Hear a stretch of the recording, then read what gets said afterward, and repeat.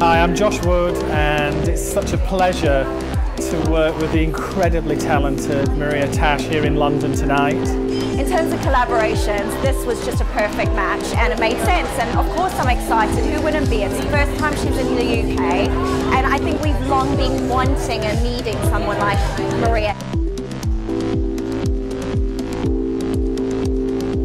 I mean, it feels pretty cool to be here tonight. And actually feel quite privileged to be pierced by a lady with this reputation. It's very different.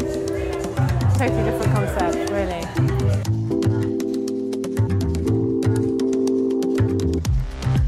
I think, like with everything, like jewelry kind of, when it's done right, it becomes like a second skin. And what I love about Maria's pieces, they're so small and dainty, yet like super like delicate and sparkly, and they're just beautiful. I've been really fortunate to work with innovators and pioneers and the best in the industry. And I really feel that Maria is doing something that eh, no one else is doing.